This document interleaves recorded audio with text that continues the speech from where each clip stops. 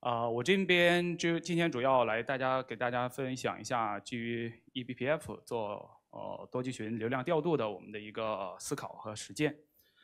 啊，首先做一下自我介绍啊，我叫张晓辉，是在 FlowMesh 担任高级原生工程师。嗯，FlowMesh 是一家这个基于流量做流量管理的这个呃流量管理产品的这个一家企业。啊，我我本身呢是有工有十多年的一个工作经验，呃，平时也会参与一些社区的一些工作，社区开源啊，比如说我会参与这个 Linux Foundation APEC 的一个开源布道师的一个团队，然后今年也有幸加入呃 CNCF 的一个大使。那我同时呢也是这个微软的 MVP。我平时也会做一些技术分享，我自己有一个公众号，就叫“源源生之北”，不知道大家有没有关注过哈？我会在上面会发分享一些在技术上、技术上的一些呃思考啊，还有一些技术上的一些分享。那我这过去几年，我一直在这个技术架构研发的这个工作，主要就涉及了像 Kubernetes 啊、微服务、DevOps 容器这些方向。呃，所以说呢，今天我会基于这个，首先是。Kubernetes 多集群这方面的我们的一个流量调度。呃，今天呢主要会分享一下下面的一些内容。首先会快速的过一下，就是 E E B E B P F 它的一些介绍，还有它的一些应用场景。那后面呢会主要集中在我们这个云原生的流量调度，那云原生的网络啊流量调度这方面的。那我们再看一下 E B P F 它怎么能去呃在呃多集群上面能给我们一些呃。给我们一些帮助。首先，呃，eBPF 的一个简介，啊，eBPF 它这个前身就是一个 BPF，那这边就可能就做一个简单的介绍一下，太多的这个故事背景，我们可能就不会太做太多的一个介绍。那首先，eBPF 它可呃 BPF 就是说 eBPF 它的一个前身就是 Berkeley 的一个。呃，packet filter，从名字我们就看，它就是一个包的过滤器。它最早呢就在九二年的时候是一篇论文，这篇论文呢就是说它介绍了在 Linux 内核里面我们怎么去呃做一个包的这样的一个过滤。呃，大家可能这个基于这个 BPF 的一个工具 TC TCP dump，大家可都可能都有用过。其实这个论文的地址其实它也是在 TC TCP dump 的这个网站上面的。那就比如说右边这个图，那使用我们这个 BPF 呢？使用 BPF，它可以去做一些包的过滤。我们可以写一些规则，把我们把我们的这个网络内核里面的一些包进行过滤。那 BPF 呢？它其实它最开始就是考虑的是为什么去做这样的一个产品呢？就是说，呃，就是说，当我们去做想在内核添加一些功能的时候，我们通常都可能会需要去在 Linux 社区呃邮件列表里面去提一个 proposal。可能还你还要对你 proposal 去进行一个呃一进行一番解释啊，跟大家去做交流，整个周期可能会比较长，可能过了一两年之后，你会可能你的代码它可能会合并到这个内核里面去，啊，整个周期是非常长的。所以说，BPF 呢，它就是通过一个这样的一个过滤器的这样的一个方式，就是说我们把把 BPF 的一个程序把它加载到内核里面，可以可以做一个动态的这样的一个加载。啊，后来呢，就是说，因为 BPF 它的一些这个灵活性啊，后来就有一个呃 eBPF 这样的一个工具啊，EPF 它其实就是一个 extended 的啊 BPF，它的这个最主要的一个概念就是说，它是一个呃动态编程，就是说可以在动态的在我们的这个内核里面加载我们想要的执行的一些程序。呃，我觉得这个 eBPF 呢，我我怎么去最总结？呃，总结一下，就是说，它帮我们去实现了一个内核的可编程，就是我们不需要向内核里面去提交代码，去合并到我们的这个社区社区的这个产品里面，那反而就是我们通过 ePF 可以快速的去做一个内核的一个编程。内核编程它有哪些特点呢？就是说，它能保证一个稳定性，它会经过经过使用它的一些呃 verifier 这样的一个检查器去检查我们的这个呃 BPF 的程序加载到这个它这个。呃，内呃加载到这个内核内核虚拟机这个里面的这个程序，它它是不是一个无限循环，或者是它的一些代码的可达性？啊，通过这些它检查器，它去保证它的一个稳定性。再另外就是说，它可以做一个高效的一个处理，就是我们写的这些呃 BPF 的程序，就通过我们的这个工具，首先编译成这种呃字节码，然后加载到内核，经过检查器之后呢，它就会做一个一个本地化的一个编译，编译成这一个本地的这种机器码，可以说才可以做一个高效的一个执行。然后再一个安全，除了这个检查器以外呢，就是说它对外暴露的一些功能，就是说我们在程序里面没办法去使用使用这些内核的这些呃直接去使用那些内核的一些功能，反而是我它使用 EPF 呢，它提供了一些这个它自己的类似于一些 API，我们通过这些 API 去进行编程，在它这个 EPF 里，它就叫这个呃 helper 的 function。然后呢，再就是它可以去做一个热加载，那这就是它最主要的一个呃特点，就是我们不需要去编译内核，它我们就可以可以做一个实时的一个动态加载。呃，这就是 eBPF 它的一个加载加载器和验证器的这样的一个流程，就是我们使用 C 去开发这样的一个 BPF 的程序，然后我们首先做一个编译，编译成编译成这个字节码，然后再通过工具，通过一些各种呃，比如说啊，像 Go 里面的一些。Go 啊，Python 上面的一些工具，把它加到内核里面。加到内核里面呢，它首先去做一个，呃，做一个这个做一个静态的一个检查，它会检查你的代码里面有没有无限循环，有没有一些呃无法达到的、无法这个触达的一些呃函数。那检查完了之后呢，它就会去做一个 JIT 的这样的一个编译。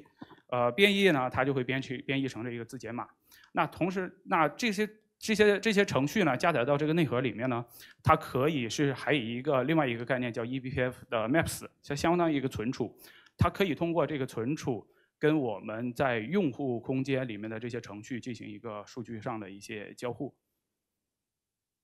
呃，再就是 eBPF 它是一个事件驱动，就是说它把很多的一些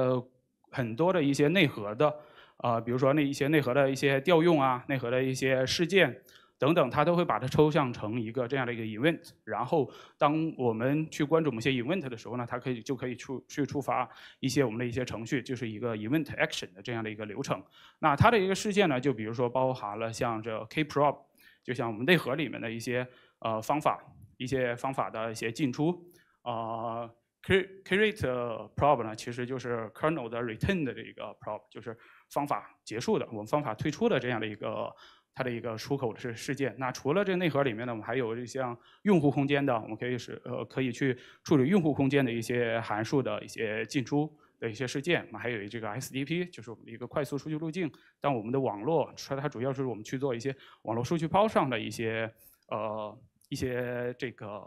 呃叫 action。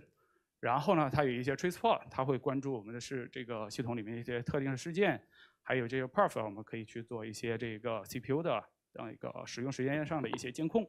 那右边这个图呢，就我就不去做过多的介绍了哈。今天，呃，主要后介绍我们的一些流量相关的。那 ePF 它的一个场景，就是说我们可以去监控我们的数，监控我们的系统里面的这这么多的操作，监控我们的网络的一些数据包。那我们可以基于这些，我们就可以去做一些这个，比如说我们在可以网络上我们去做一些。工作，我们去监控我们这些网络的一些数据包，我们可以去做一些呃 DDoS 的一些呃 D DDoS DDoS 的一些阻止啊，DDoS 这样的一些防护。那我们可以去修改数据包的这个网络包的 packet 它的一些 header，比如说我们可以去做一些 NAT，做一些 DNAT 或者 SNAT，然后再基于我们的一些策略，我们可以去做一些访问控制，呃，去实现一些比如说类似于呃呃。类似于一些类似于白名单啊、黑名单的这样的一些工作，然后呢，在我们可以可以就那我们可以监控到这么多的一些，比如说网络包啊，还有一些系统的一些调用，那我们可以去做一些观测，那就是可观测性方面的，我们可以观测很多的一些数据，我可以去观测到我们的一个 CPU 的一个路径。那我们通过一些采集到的这些数据，比如说通过一些数据，我可以生成一个火焰图，我们可以关注我们的这个系统，它在它的一个呃运行的一个。呃，运行的一个情况，然后再就是一个安全。那我们关注，我们可以去做这么多的一些呃数据包的一个监控拦截之后呢，我们可以去做一些审计上的工作。比如说，我们可以审计呃监控我们的一些哪些网络的一些呃网络一些访问，还有系统内核的这些 function 的一些调用。那我们同样的，我们还可以去禁用一些这个系统内核的一些 function 的使用。啊，这是一个它的一个场景的介绍。那我们今天呢，就主要会关注在网络这一块儿。呃，云原生的一个网络流量。那在说这个云原生网络流量之前呢，首先介绍一下，就是说我们在这个，就是我们的一个一个数据包，在我们的 Linux 内核里面，它的一个这样的一个路径。那最最底下呢，就是我们的这样的一个网卡，就是我们的一个网络设备。当我们的一一个网络的一个数据包进入到网络设备之后呢，首先它这个数据可能会写到我们的一个呃网络设备，就是这个 NIC 的它的一个本地的这样的一个队列里面。呃，拿到队列里面，它可能就在会去触发一个类似于 CPU 的一个中断，然后由它的这个 NIC 的一些呃 driver 把的这个数据写入到它的一个 buffer 里面，然后呢，同时它会去申请一个内存，把申请一个内存，这个内存里面会保存这样的一个 SK SK buffer，我们可以叫它 SKB 这样的一个数据，那它会呃在这个内存里面创建出这样的一个呃 SKB 出来。然后再把数据，这个数据再交由我们的这个呃内核网络协议站，就是我们的那个 NIC driver 的上一层。那在这在这在 NIC 这个呃上一层的这个网络协议站呢，它会去做一些，比如说做一些 IP 包的一些处理，做一些检查，做一些路由啊，还有我们 TCP TCP TCP 的这个头的一些检查。首先，它会去做一个，就是类似于一个解包的一个过程。它这样一些 controller 呢，它去解了一个，把我们的这个包，那我们这个网络包其实就类似于一个俄罗斯套娃一样，最里面呢其实就是我们的一个一些应用层的商议呃协议。那在往在外面再包了一层这个 TCP 的这种协议，再往外呢就是我们呃 IP 包，再然后再是以太包。那我们这个数据从网络传过去，它是从外层一一层层往上去解包的这样的一个过程。那在这个网络协议站呢，它会从我们的这个 IP 包解到这个 TCP 包，再从 TCP 包解到我们的这个呃上层的这个应用层的这个网络协议，然后呢，都经过我们的这个网络协议站的处理之后呢，那这个 SK 的这个 buffer 呢，就是说我呃解除我们这个 TCP 包之后，我们就可以通过端口找到我们的应用它监听在哪一个，它使用的是哪一个这个呃网络套接字，就是 socket。然后这个 SK buffer 呢就会写到这个 socket 的这个呃队列里面，然后再由我们的应用层，然后这个地方呢它还会去做一个数数据的一个复制，就是说把我们的一个网络的数据从内核这从内核从这个内核空间复制的复制到呃我们的这个用户空间，就是这样的一个很很复杂的一个过程。那这里呢还只是我们的一个一个网络接口的一个一个处理。然后呢，在我们的云原生的这个容器网络里面，在容器网络里面呢，其实我们有很多的这样的一些网卡，比如说它的有一些有我们那些这些的虚拟的网络接口，比如说这里呢，我这个图上是展示的，在我们一个节点上，我们有两个 pod，这两个 pod 它怎么去进行了一个网络的一个呃传输？那最右边呢是我们的这个客户端 c u r 的这样的一个 pod，左边是我们的一个服务端是 HTTP HTTP 的这样一个 pod。它那肯定是由客去访问 H T H T T P。那在我们的这一个 pod 里面呢，每一个 pod 它都有自己的一个呃容器的呃容器的这个秘密空间。首先，我客发出来请求之后，去进进入到它自己的容器的这个 N I C 里面，就我们前面那个图里面的那个 N I C 的那里。然后，然后进入到再通过再通过这个呃虚拟的这个一个链路。虚拟的链路，它进入到我们的呃，就是在我们主机的这个呃内核网络空间、网络这个命名空间去这个 VETH 这里，然后我们所有的这些 pod 都通过一个叫像我们的一个呃网桥 CNI 零，比如说这个 CNI 零，它就是一个网桥，它会连接到我们的所有的 pod 它的上的这个 VET VETH 的这个网络接口上面。那它可以去做这样的一个，通过这样的一个进行我们的一个网络的传输。我们可以看到，在这个地方，它其实呢经过了两三个的这样的一个呃网络接口。这还只是我们在同呃同节点上去做去做网络的一个呃传输。那假如说我们一个跨节点呢，我们可能还会去到我们的呃下面的我们主机的这个网络接口，通过我们的呃通过我们的这个。呃，物理的物理的网络去进行一个数据的一个传输，那这就是这个与容器网络的它的一个情况。啊，这里呢就介绍一下，就是说我们在同一个 pod 里面，就比如说我们在服用服务网格的时候，我们会在服务网格里面去注入一个 sidecar，注入一个 sidecar 容器。那我们的 sidecar 跟我们的业务容器之间。它怎么去去进行这个网络的一个传输？那我肯定是，我们都一般的我们都会使用这一个 iptables 把我们的流量呃劫持到我们的 sidecar 这边。那它这个流量就是我们从从我们的应用这边容器出来了之后，它会经入经过就是我们的一个，比如说 HTTP 的协议，它经过我们的网络协议站之后，它进行重重的一个封包，最后封包的之后呢，再通过呃呃到了我们的这个内核的这个网络接口，呃不是我就是我们容器的这个网络接口，比如说 loop loopback，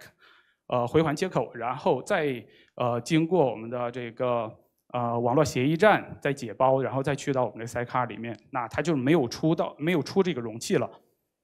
就完全经过在这个容器的，然后经过这个网络协议站的这样的一个处理。啊，这个是同 pod 一个 pod 里面容器容两个容器怎么去进行交互，然后这个是一个节点上两个 pod，两个一个同一个节点上的两个 pod，它同样也会呃出了呃我们的应用发了我们的一个网络包之后。它要经过 socket，然后经过网络协议站的封包，然后去到网络接口，去到网络接口之后，就比如说我们的这个节点上的这个 CNI 零的那个网桥，呃，然后再进入到我们再通过我们的这个路由，本地的这个路由进行呃寻址，找到我们同节点上的这个 pod 之后呢，再通过这个网络协议站的解包。然后层层的解包之后，就解出我们的，比如说我们这个七层的这个 HTTP 的包，然后写到我们这个应用的它的一个 socket 的这个队列里面，那就是完成这这样的一个交互的一个过程。整个整个流程呢，会会比较会比较复杂一些哈。OK，然后跨节点呢，就比上面会多一点，就是它我们会多一个物理网络的一个传输，那么就是一个跨节点的这样的一个传输。其实我们可以看到，基本上都会经过 socket 啊，然后经过网络的这个内核协议站，然后再经过我们的一个呃网络接口，这是一个这样的一个传输的一个流程。那我们可以看到前面几个图，大家都会发现，其实我们的数据都是从一个 socket 写到另一个 socket。那我们所有的过程。整个所有过程，不管是你在同一个容、同一个、同一个这个 pod 里面，还是在同一个节点或者是跨节点，我们整个一个过程其实都是一个 socket 的它的一个寻址的一个过程。我要给哪一个应用发网络发呃发发送数据？其实我要找到它这个 socket，把我这边的数据写到它那边的这个 socket 里面，其实就是一个这个 socket 的一个寻址过程。可能就是说，你中间的过程经过了内核的处理，经过了网络协议站，或者甚至是经过了这些物理的网络，或者是不可能是我们的一个内部网络，或者是一个呃外部网络。整个不管是经过什么样的流程，其实最终我们要找到。对，呃，服务端的它的这个 socket 把这个数据写过去，那整个流程既然这么复杂，我们能不能通过什么手段可以快速的去缩短这个路径，跳过中间的整个的这这样的一套寻址的这样的一个流程？那 socket 就是说，这里会介绍一下 socket，就是我们 socket 的呃一个客户端去访问服务端的时候，它是这样的一个流程。首先是我们服务端，它会去建一个这样网络套接字，然后发起一个呃绑定的一个动作，绑定到某一个 TCP 的这个端口上面，然后它再去呃 accept 的这个数据，它等到网络的这个数据的一个传输。啊，同样的客户端呢，它会也会去创建一个呃 socket 的套接字，然后连接到某一个。往某一个呃地某一个这个地址，然后创建连接之后呢，然后就是发送数据，发送完了，然后再去一个做一个这个断开连接的这样的一个操作。那我们可以看一下这个图呢，跟上呃前面一个图是比较类似，只是说我们可以看一下这个，既然 EPF 它可以监控，可以做这么多的一个动作。可以做这么多的这个 event action 的这样的一个触发，那我们可以看到它可以在哪个地方去用？就比如说，它可以在我们的 NIC 的这个物理网卡里面去用，也可以在这个 NIC 的它的一个 driver 这一层，或者是我们的这个网络呃网络协议站内核网络协议站的这个层。网网络协议站我们会有进出，就是一个 traffic control 的一个 ingress 和 egress 的这样的一个呃呃这样的一个这个触发点。然后呢，我们可以有一些 socket，我们可以监控 socket 的前上一幅图的那些，比如说 accept 啊、band 啊或者是 send send message 这样的一些操作，我们都可以使用 EPF 去监控。那我们使用 EPF 去监控之后呢，啊，使用 EPF 去我们监控到这些点，我们去 hook 到这些点上之后呢，执行操作的时候，我们去可以去 hook 执行我们这些 eBPF eBPF 的程序。那除了这些内核呢，我们可以在也可以在这个用户空间，我们的用户程序这边也可以去做一些这个呃呃事件的一些监控。那我们可以看到，就是说我们可以使用我们的 ePF 程序缩短我们这个数据的传输的一个流程，我们就可以 bypass 掉这个内核的一些网络协议站的一些处理，那就变成了就是说，当我当我确做做了一次寻址之后，我可以记录到同节点的这个应用它的这个 socket 它的一个地址，那我的数据。我做数据传输的时候呢，我直接从一个 socket 写到另一个 socket 里面，那我整个的流程就会被缩短了嘛？那这样可以去做做有一些这个效率上的一些提升，也就是说，我们是可以使用使用 ePF 去实现一个这样的一个网络的一个加速。呃。就是，然后在应用层面呢，在应用层面呢，我就是说很多很多的一些产品，就比如说像服务网格的产品，我们可能会比较早期，我们使用 iptables 进行一个流量的拦截。那我们可以看一下，就是说我们这边我们有一个服务网格的产品叫 Flow Mesh Service Mesh，就 FSM，我们可以使用。ePF 进行一个流量的一个拦截，那这个就是说，这就是一个 pod 它的一个创建的一个流程。那么创建一个 pod 之后，Kubernetes 呃 Kubernetes 呢，它会在我们的一个节点上面去调用这些呃呃 CRI，然后去然后调用 CNI 去创建我们的这个网络的命网络的这些容器的一个命名空网络命名空间。然后呢，在创建的过程中呢，我们可以看到，就是说，我们创建了一个网络命名空间之后，我们会发一个请求到一个 inter interceptor 这样的一个，呃，呃 interceptor 这样的一个组件，发一个请求，然后这个组这个 interceptor 它是一个它是一个 daemon set 这样的一个类型，然后它会在我们的节点上面去加载，去 load 这些 e b 呃 eBPF 的程序，把这些程序加载到我们的。呃，pod 它的一个网络命名空间里面，然后呢，它这些程序，这些这些 BPF 的程序，它会监控我们的各种的网络事件，还有我们的一些呃内核的一些呃网络调呃内核的这些方法调用，然后去实现我们的网络协站的这样的一个 bypass 的一个呃。这样的一个一个功能，那么实现了这个功能之后，其实这个地方我们就不需要去做，去就不需要用到这个 iptables 去做流量拦截了，完全通过 ePF 去进行拦截就就可以了。哦，这个地方应该有一幅图，我可能我当时忘加了，倒是呃，就是它怎么一个拦截的一个流程。呃，另另外一个应用呢，就是像 Cilium，Cilium 它我们知道它有 Cilium，就是它有实现了。呃，一个实现了这些 CNI，呃，然后也可以是呃加增强了我们这些 Kubernetes 的一些网络策略，比如说我们可以控制一些流量从呃从一个 pod 到另一个 pod 它的一个流量，呃，它的是否能。呃，就是一个黑白名单、黑白名单的这样的一个效果，就是我的一个 pod 能否访访问另外一个 pod。那我们这个做网络控制的时候呢，我们可以呃做四层的网络控制，比如说我们可以控制它是否能访问哪个端口，或者能访问哪个 IP，那就是完全由 ePF 它可以去做去做这样的一个实现。然后呢，甚至七层的策略，七层的策略可能就会比较复杂一些。比如说，我们七层的 HTTP 的协议，比如说我们根据，呃，我可以控制它可以访问哪些 pass，但是哪些 pass 我是它禁止访问的。它这个 Cilium 呢，它这个在处理七层的网络策略的这个过程中呢，它就是其实它是通过把 ePF 的这个把我们的使用 BPF 程序把我们这个网络流量把它定向到重定向到这个。一个网络代理里面，然后 Cilium 呢，它呢就有呃实现了一些呃，它是使用呃 Envoy 去做这个网络代理，去实现了一些 Envoy 的一些 filter，然后再使用这个 filter 呢去去去这个 BPF 的 map 里面去读一些我们的写的一些策略，可能我们一些策略会写会呃，它会去判断我们的这些流量是否。是否需要去执行七层的一些策略？假如需要执行七层的策略的话，这个流量呢，它就会进到这个 policy 里面，进到 policy 里面，它会去执行我们的策略。最后，然后最终给出一个结果，就是说你这个请求是要我是要拒绝呢，还是要放行？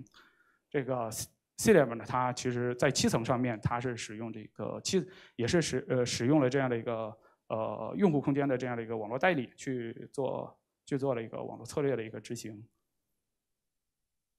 那这里讲到是就到了我们这个跨集群的一个流量调度。那跨集群的流量调度，首先就是说我们跨集群，那我们去进行跨集群的网络调度的时候，我首先我要知道我跨我的呃我这个服务在其他集群的这个访问的地址是什么？呃，在呃 FSS 里面，它会有这个多集群的一个服务注册发现的这样的一个流程。啊，实际这里我们会有这个有有一个组件，一个组件叫 FS FSM Controller，还有一个 FSM 这个 Bridge Controller 呢，它就是类似于一个控制面。首先，它进行我们看它的第一个操作，它会去 watch。我们这边会有和集群分分为两种集群，一个是控制面的集群，还有我们的这个数据面的集群，成员集群。就是说，首先我们这个控制面集群的这个 FMS Controller，它会去 watch watch 我们的这个 API Server。那因为其他的我们的成员集群，它是首首先要做一个集群这个注册，把这个注集群注册到呃注册到我们的控制面集群之后，那我们就会形成一个集群的联邦。那我们这些服务就可以，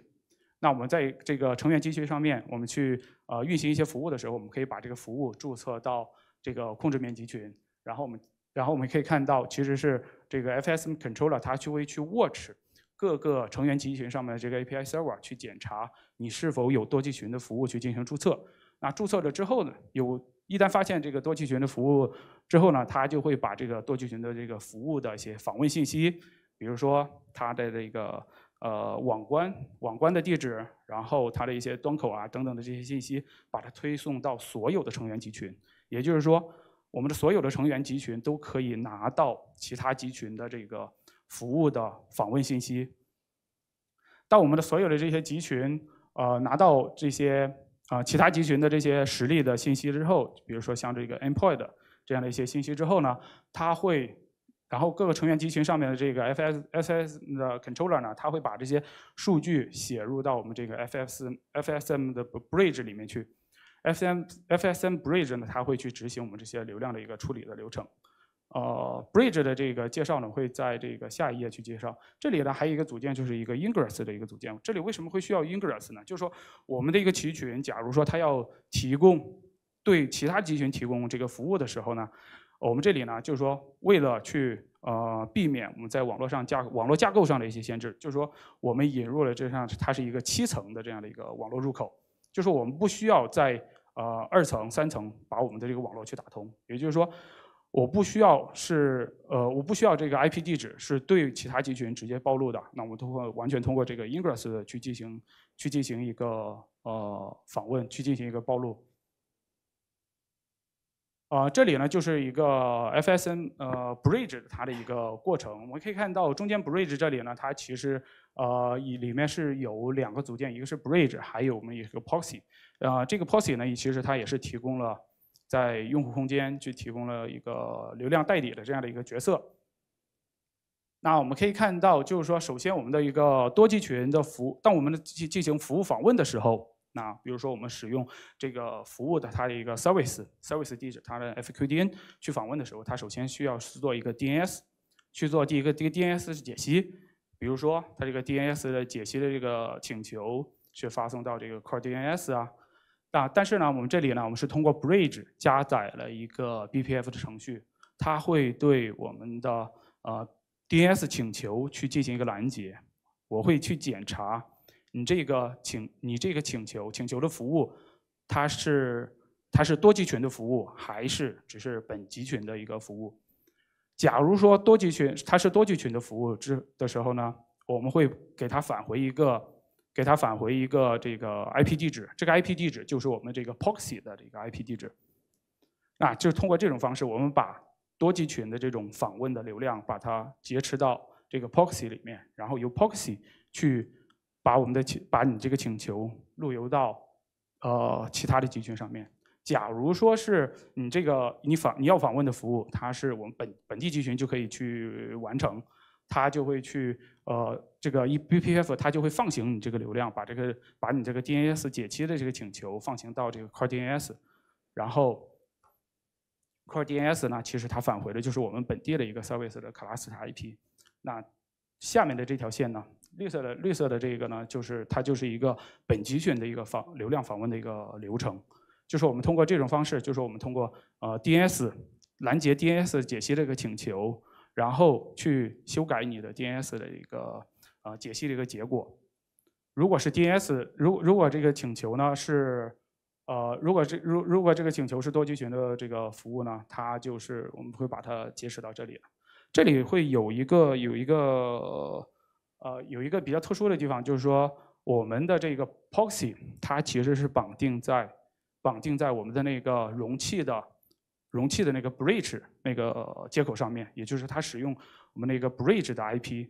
去，它会绑定在那个 bridge IP，因为在同一个节点上的所有的 node，它所有的流流量都会经过这个 bridge，所以说我们会把它这个呃把这个代理它是绑定在那个那个接口上面的，就是说我们所有流所有的流量都可以去都可以走到我们的这个 proxy 这里。那这个呢就是我们的一个流量流量调度的这样的一个过程。OK，呃，我们可以看一下，就是说。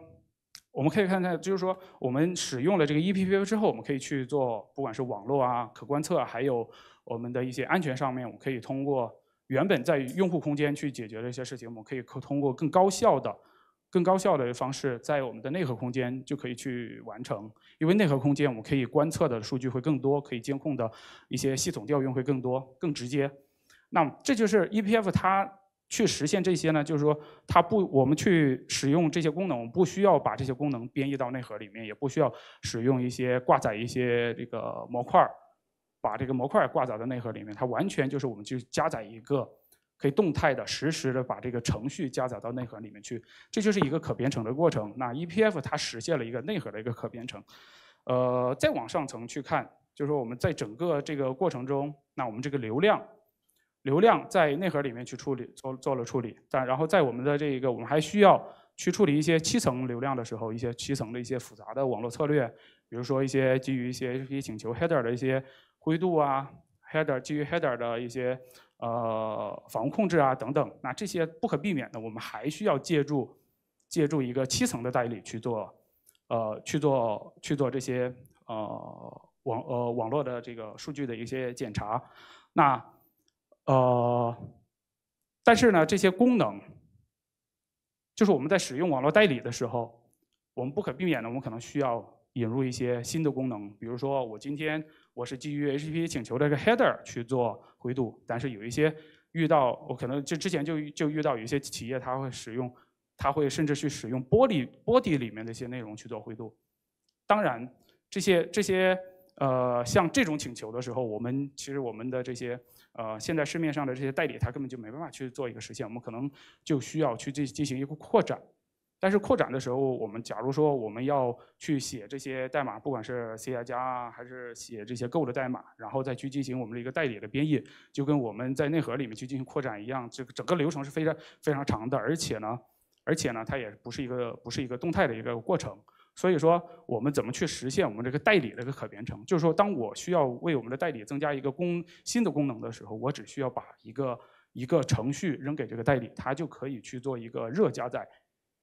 我们可以做一个动态的这样的加载，实现一个代理的一个可编程。就是说，分那我们就可以通过 ePF 在内核这边去实现一个内核的一个可编程，然后代理呢，我们可以在我们的这个用户空间里面实现我们这个网络网络代理的一个可编程。哦，我们这边会有另外一个产品，就是这个 Pipy，Pipy 它就是它是一个可编程的一个代理，就是说我我的 Pipe，你想让你想让它怎么去执行这个网络的网络网络流量，我完全只给它给它扔给它一个这样的我们的一个程序就可以了，它可以去做一个实时的一个加载，我不需要我不需要去执行什么编译啊、重启啊等等的这些操作都都是不需要的，就是说像 eBPF 一样，我直接。去加载一个程序，就可以动态的去增加我们的一个功能，就我们就可以像像内核一样，我们去实现我们这个代理的一个可编程。那同样啊，它有为为为了就是我们在使用上的一些简便，使用上的一些，我我可能不会提供太多的太多的一些网络的呃调用的这些接口。那同样，它像 ePF 提供这些 helper 的方式一样，也提供了一些网络编程的一些 API。OK，我今天讲的内容可能就会比较快一些哈。这边呢，就是我这边是我们的一个公众号 f l o w m e s 公众号，在上面都会有一些技术上的一些分享，上面是没有任何这个商业化的一些东西的哈，都是一些技术上的。然后右边是我们的 FlowMesh 的一个网站，还有我们 GitHub 的一些仓库。不管是像 eBPF 的这个呃多集群，还有我们的服务网格，还有这个 Pipe 的可编程代理，这通通这些我们都是都是全都是开源的。同时我们也没有商业化的版本，只有一个开源的一个版本，大家都可以在上面获取到我们的这些呃项目的一些源码。啊，然后最后面是一个 FlowMesh 这个 Slack channel，大家也有兴趣也可以加入这个 Slack channel 上面。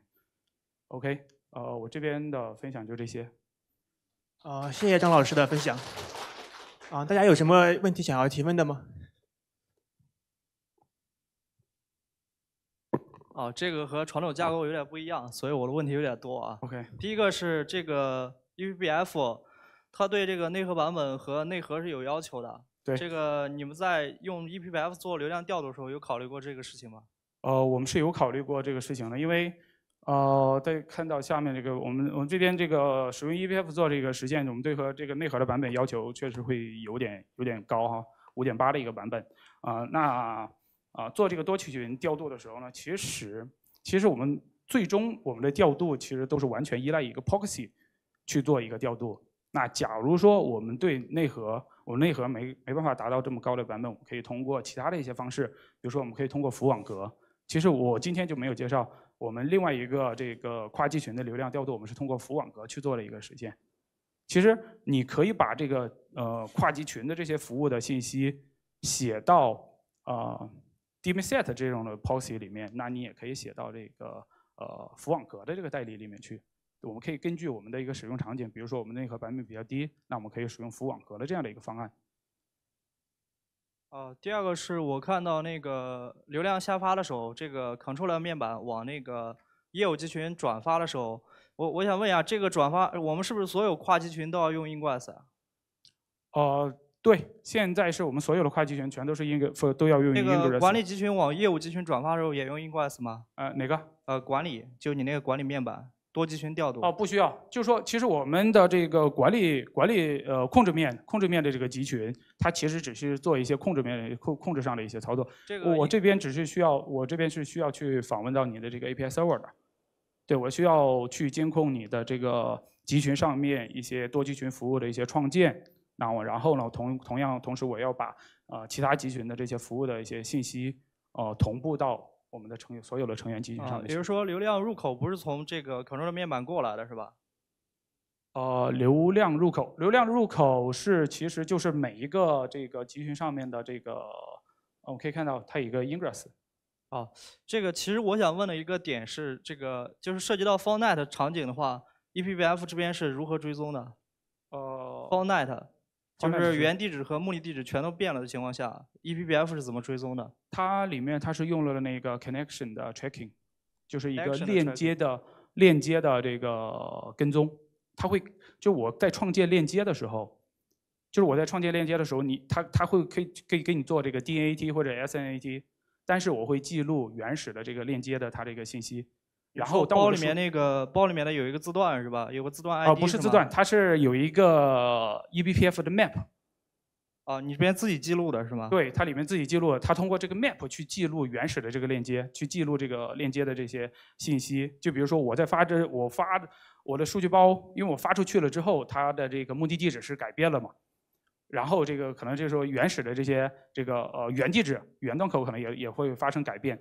那我会把原来的这些信息记录到这个记录到这个呃 map 里面。当我的这个有响应回来之后，有响应回来之后呢，我再从这个 connection 的 checking 的这个 map 里面拿到这个原始的信息，然后再做一次，这样。哦，也就是说我们这个只是把这个多流量的呃不是多集群这种流量规则下发到每个集群，其实就是通过 DNS 结实做的。啊，对，可以这样理解吗？对，可以，可以，可以这么理解。哦，就相当于，就相当于我们在这个服务网格里面做了一样，就是说我把流量结识到这个 sidecar 里面，只是说我们这个 sidecar 现在是一个一个 daemon set，就是我的一个 node node level 的这样的一个 sidecar。哦，呃，因为我看到这个，虽然说是这个比服务网格就那种流量那那个网络的链路短了一些啊，嗯，但我看了一下，因为要实现这个功能，其实你还是要实现。呃，服务网 e s t o 那些相关的 Involve 那些能力的，就是有没有对比过这两边的一个性能？确实是有有这个很大的一个提升，是吗？呃，这个就没有，我们我们这边就还没还没有去测。那我们现在是这样的一个一个探索实践的这样的一个过程，我们会我们在有安排去做。但是业界呢是有做过这样的一个测试，就是我们做了一个内核协议站的这个 bypass 之后，其实它的性能会有提升的。因为我可以，其实我虽然就是说跳过了内核协议站，其实我们还少了这个 IP tables，我不需要 IP tables 去做这些处理了。那么 IP tables 它这整个呃处理，它是一个它这个处理的过程。但它也会耗时，然后比如说我们的这个 k u b e Proxy，就是我们去某些 Pod 上线啊，我 k u b e Proxy 可能去做一些 IP table 的一些刷新啊，这些通通需都需要耗时。嗯。啊，最后一个疑问就是，呃，我看这边也有那个流量调度的一个规则，我想问一下，这个规则和 Easto 的那边创建规则的差别大吗？就是往我们 ePBF 里面去插这个我们自定义的流量调度规则的时候，这个和云原生原来的一个使用习惯差别大吗？还是说这个规则完全就是不太一样，很不一样的一个这样的一个规则？调度的规则，你是指？呃，就是你那个，你这边不不也有一个这个代理上层的一个流量调度的调流的一个方法嘛？啊。的一个能力嘛？嗯。然后你在这一层实现的时候，我我怎么去创建一个规则？我创建这个规则，它的的一个 YAML 的一个内容和我原来用 Easto 的情况下，我去创建的情况下，这两者差别大吗？呃，差别就是说。呃，这个可以怎么说？就是说，呃，在 Kubernetes 它是有一个 multiple cluster 的一个 service 这样的一个 API，就是它这个 API 的一个最初衷就是什么？我我去使用多集群的服务的时候，就像使用本地服务一样，就说你你使用本地服务，可能就是使用这个 service name 加上 namespace 这样的一个 fq dmo 去去访问了。那在使用多集群的时候，它其实也是这样，也你不需要去修改它的访问地址。所有的这些流量全全所有的这些呃处理，那我是调调到本集群的这个 class IP 呢，或者呃 pod pod IP 呢，还是去到其他集群的这个 ingress 地址，就完全就是由呃由这个我们这个代理去实现的，就是我不需要去写任何的这样的一些呃 YAML，不需不要写任何的这种 CRD，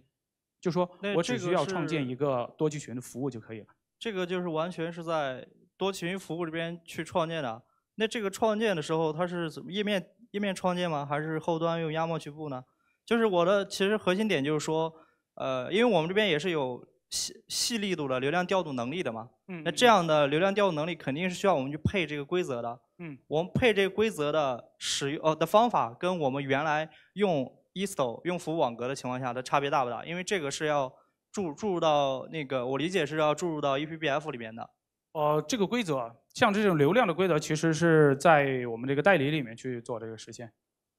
ePBF 只是做一个 hook 是吧？在 hook 前去执行我们这个方法。对对对，比如说他去做这个 DNS 的劫持，做这个 DNAT 啊，这样这样的一些操作，做 net 的一些操作。现在的流量调度都是基于 DNS 解析做的是吧？呃，流量劫持是通过 DNS 是做流量的劫持，劫持劫持到 Proxy 里面，然后由 Proxy 去做，比如说做负载均衡啊。做这些的一些操作，对，就是 proxy 这边它应该有一个有一个它能去识别的一个规则文件，定义了他现在要转发的流量以什么样的力度或者以什么样的请求头去做区分去转，就这个规则是在哪个地方去创建？呃，其实目前我们这个地方却只是去实现了一个多机群的互联互通，啊，只是能转过去，对，我是力度是吧？我要保证你的数据传过去，然后你数据传过去之后。或者传传出传出之前，我是怎么去做这个细路细路的调整？那可能是我们去使用服网格，或者是使用其他的一些，比如说呃，大家没用服网格，可能会使用 SDK。就目前目前在我们这个代理里面，目前没有去加这个呃很细力度的一些操作，比如说像呃像这种呃呃限流啊、超时啊等等。就是说我们目前我们目前是实现了。实现了。首先，我们说多多集群的这个跨集群的调度，我们是实现它的一个呃跨集群的一个互通。但是呢，就为什么很容易去实现呢？就是因为这个代理是一个可编程的一个代理。就像我要实现一个功能的时候，我直接去给它加载一个程序就可以了，不需要编译，不需要重启，就像 eBPF 一样。所以说，那个功能实现也是非常简单的。就是说，因为它是一个网络的代理，它可以跟服务网格的那个代理。可以去共用这些流量处理的一个逻辑。哦，了解了解。对，我不需要我不需要去编译，不需要重启，直接做一个热加载就可以了。就是一个这就是一个可编程的它的一个呃优势吧。哦，这个应用层的那个编程可呃热加载是靠我们的哪哪个程序做的？哦，这一个是吧？对，对对对就是我们这边有一个开源的开源的一个可编程的代理叫 Pipy。哦，好的好的，行。嗯哦，我的问题问完了，谢谢老师。后续会送给您一份那个礼物。然后后续啊、下面的话还有什么问题可以在线下和这个啊、线下是吧？对线下，因为我们后边还有几个一起。